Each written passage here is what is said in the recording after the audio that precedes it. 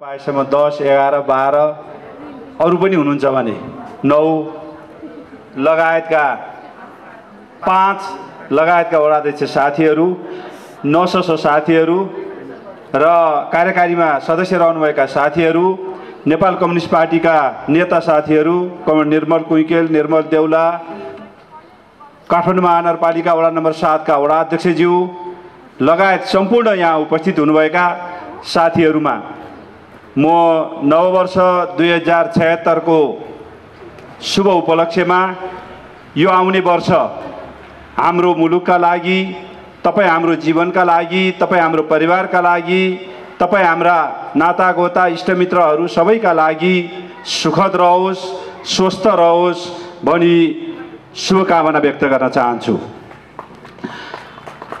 आदरणीय साथीहरू हामीहरू अहिले वास्तवमा दुई हजार पचहत्तर साल अझ हामीले त्यसोभन्दा दुई हजार चौहत्तर सालदेखि यता नेपालको राष्ट्रिय राजनीति नेपाली समाज र सिङ्गो मुलुक नेपाल बाहिर रहेका नेपालीहरूका बिचमा पनि एउटा सकारात्मक दिशातर्फ मुलुक उन्मुख भइरहेको र त्यसले मुलुकभित्र हामीले लामो सङ्घर्ष गरेर प्राप्त गरेको परिवर्तन र त्यो परिवर्तनलाई संस्थागत गर्दै मुलुकको परिवर्तन जनताको परिवर्तन जीवनमा जनताको जीवनमा ल्याइने परिवर्तन यो बाटोतर्फ मुलुक उन्मुख भइरहेको एउटा सुखद क्षण हामीले अनुभूति गरिरहेका छौँ।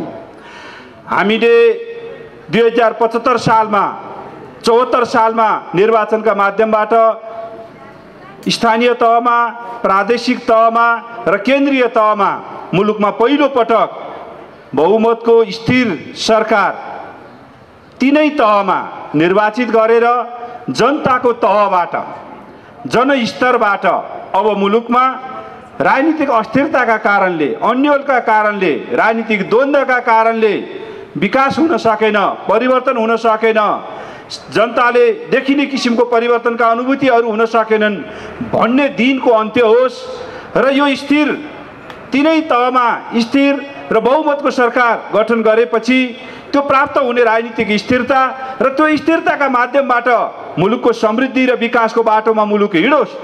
यो शुभेच्छा र यो चाहनाका साथ जनताले जिम्मेवारी दिएका छन् नेपाल कम्युनिस्ट पार्टीलाई आज। नेपाल कम्युनिस्ट पार्टीको इतिहासमा सत्तरी वर्ष अब हामी आउने वैशाख नौ गते अर्थात् अप्रिल बाइस तारिकका दिन कम्युनिस्ट पार्टी स्थापना भएको सत्तरीौँ वार्षिकोत्सव हामी मनाउन गइरहेका छौँ। यो सत्तरी वर्षको इतिहासमा कम्युनिस्ट आन्दोलन यो हाइटमा पुगेको अर्थात् कम्युनिस्ट आन्दोलनले यो उचाइ प्राप्त गरेको पहिलो अवसर हो। तपाईँ हाम्रै कार्यकालमा हाम्रा अग्रजहरूले देखाउनु भएको बाटो हाम्रो अग्रजहरूले गर्नुभएको मार्गदर्शन त्यो मार्गदर्शनलाई पछ्याउने क्रममा नेपाली जनताको साथ र सहयोगबाट इतिहासमा सबैभन्दा ठुलो सफलता अहिले हामीले प्राप्त गरेका छौँ। यो प्राप्त गरेको यो सफलता यो ऐतिहासिक क्षण र यो ऐतिहासिक अवसर मुलुक परिवर्तनका लागि मुलुकको विकासका लागि जनताको जीवन स्तर उठाउनका लागि उनीहरूको जीवनमा परिवर्तन देखाउनका लागि हामीलाई अवसर हो। यदि यो अवसरलाई हामीले सही ढङ्गले बुझ्न सकेनौँ सही ढङ्गले बुझेर त्यसअनुसार काममा जान सकेनौँ खट्न सकेनौँ लाग्न सकेनौँ भने इतिहासले हामीलाई माफी दिने छैन। जनताले फेरि हामीलाई माफी दिने छैनन् र फेरि हामी जनताको बिचमा जाँदाखेरि हामीले भन्ने कुराहरू हाम्रा साथमा हुने छैनन्। त्यस अर्थमा हाम्रो अगाडिको यो दायित्व हाम्रो अगाडिको यो जिम्मेवारी हामी चाहे त्यो हामी नगरपालिकाको ओडाको नससमा निर्वाचित भएका निर्वाचित व्यक्ति हौँ या वडा अध्यक्ष हौँ या उपमेयर हौँ या मेयर या प्रदेशका विभिन्न प्रा प्रादेशिक सभा वा प्रादेशिक सरकारमा रहेका व्यक्ति हौँ या केन्द्रीय सरकारमा रहेर केन्द्रीय खालको जिम्मेवारी बोकेका हामी केही व्यक्तिहरू किन नहौँ? हामी सबैको दायित्व यति बेला। यो सरकार र यो ऐतिहासिक क्षणलाई सफलतापूर्वक जनचाहना अनुरूप अगाडि बढाएर लिएर जाने हो। यसमा दायाँ बायाँ गर्ने तलमाथि गर्ने छुट कसैलाई पनि छैन। हामीले भनेका छौँ सुखी समृद्ध नेपाल सुखी नेपाली। समृद्ध नेपाल र सुखी नेपालीको यो नारा अरू कसैले पुरा गर्न सक्दैन सकेनन् विगतमा। त्यस कारणले नेपाल कम्युनिस्ट पार्टीलाई नेपाली जनताले रोजे। त्यस कारणले नेपाल कम्युनिस्ट पार्टीलाई जनताले निर्वाचित गरेर यो जिम्मेवारी सुम्पेका छन् तलदेखि माथिसम्म। मुलुक आज कम्युनिस्टमय भएको छ कम्युनिस्ट पार्टीमय भएको छ यस ऐतिहासिक अवसरमा। यस ऐतिहासिक जिम्मेवारीमा यदि हामीले तलमाथि गऱ्यौँ भने हामी कथम कदाचित जानेर वा नजानेर हामीबाट त्रुटि भयो भने त्यसले हामीलाई व्यक्तिगत रूपमा मात्रै मा हामीलाई क्षति होइन। यो मुलुकका लागि पार्टीका लागि आन्दोलनका लागि त्यति मात्र होइन। हिजो यो आन्दोलनका लागि रगत बगाएका शहीदहरूको सपनामाथि तुषारापात हुनेछ। यस अर्थमा हामी सबैको दायित्व हो अहिले कि हामीले सुशासन सहितको समृद्धिको बाटोमा अगाडि बढ्ने सुशासन सहितको सामाजिक परिवर्तनको बाटोमा अगाडि बढ्ने सुशासन सहितको विकासको बाटोमा हामी अगाडि बढ्ने। मैले यो सुशासन किन जोड दिइरहेको छु भने सुशासन नभएका कारणले गर्दा हाम्रो समाजमा रहेको व्यथिति र विकृतिका कारणले गर्दा भ्रष्ट प्रवृत्तिका कारणले गर्दा हामीले अगाडि सारेका योजनाहरू त्यसअनुसार अगाडि बढ्न नसकेको अनुभूति तलदेखि माथिसम्म हामीले गरिरहेका छौँ। यस अर्थमा सुशासन हाम्रो अहिले पहिलो प्राथमिकतामा परेको छ। हामीसित दृष्टिकोण छ। हामीसित हाम्रा घोषणापत्रहरू छन् कार्यक्रमहरू छन्। तिनलाई कार्यान्वयन गरेर लिएर जाने तदारुकता तिनलाई कार्यान्वयन गर्ने प्रभावकारिता आजको आवश्यकता हो। त्यो आवश्यकतालाई हामीले पुरा गरेर जानुपर्छ। विगत दुई हजार पच अर्थात् आजको दिनसम्म दुई हजार पचहत्तर साललाई हामीले सम्झेर हेऱ्यौँ भने मुलुकमा हामीले केही उल्लेखनीय प्रगति गरेका छौँ। थुप्रै मान्छेहरू केही पनि भएन भन्ने प्रचार गरिरहेका छन् र कता कता हाम्रै पङ्क्ति पनि त्यसबाट प्रभावित भएको हो कि भन्ने हामीलाई लागिरहेको छ।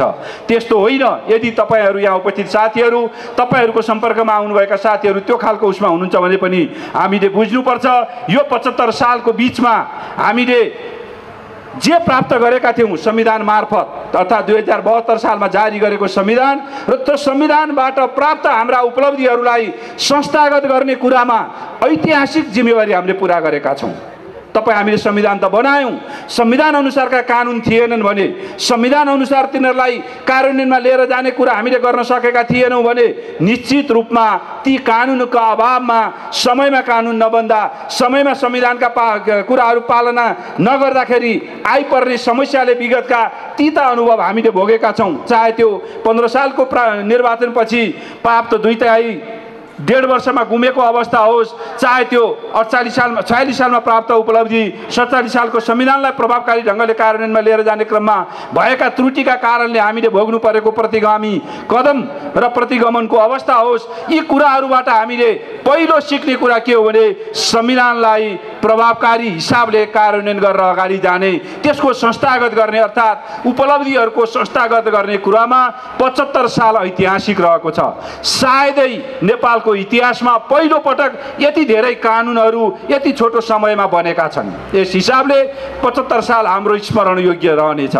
दोस्रो कुरा पचहत्तर साल हाम्रो यस कारणले पनि उल्लेख्य रहनेछ कि हामीले पचहत्तर सालको बिचमा केही नयाँ आयोजनाहरू केही नयाँ योजनाहरू केही नयाँ क्रियाकलापहरूलाई सुरुवात अगाडि सुरुवात गरेका छौँ।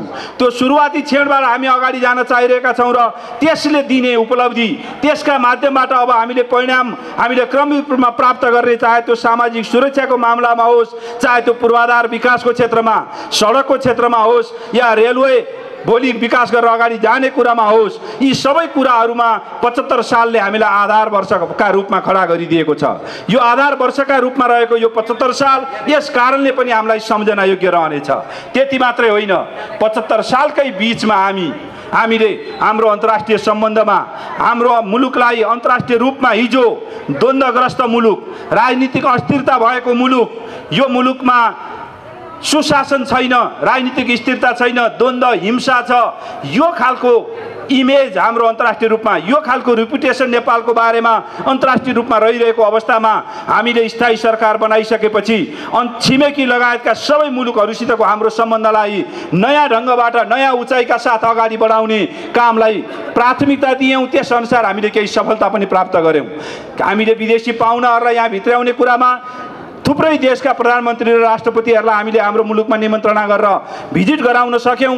त्यसको अलावा हाम्रो नेताहरू चाहे राष्ट्रपति उपराष्ट्रपति प्रधानमन्त्री परराष्ट्र मन्त्री सभामुख विभिन्न मुलुकको भ्रमणमा जाने कुराका लागि पनि पचहत्तर साल उल्लेख रह्यो। अर्थात् हाम्रो सम्बन्धलाई नयाँ मतलब चाहिँ नेपाललाई नयाँ ढङ्गले विश्व मञ्चमा चिनाउनका लागि पनि पचहत्तर साल उल्लेखनीय रूपमा रहेको छ। यसका अलावा हामीले खास गरी जनतामा एक किसिमको परिवर्तनको अनुभूति दिलाएर आशा जगाएर यसका माध्यमबाट नेपालमा हाम्रै जीवनकालमा परिवर्तन सम्भव हुन्छ हुनेछ भन्ने कुराको एक तहको विश्वास दिलाउन हामीले पचहत्तर सालमा सफल भएका छौँ।